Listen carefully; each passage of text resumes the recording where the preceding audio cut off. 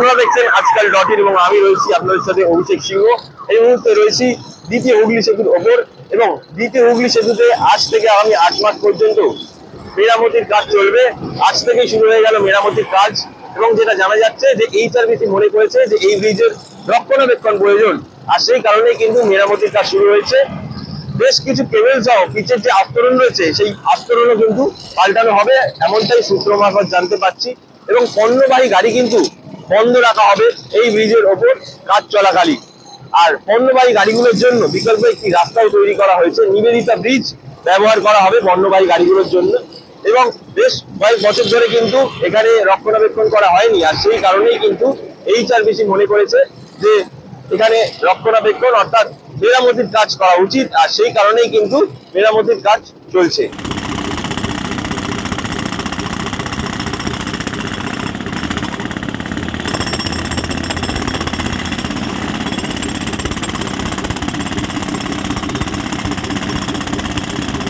অভিষেক সিংহ আজকাল ডট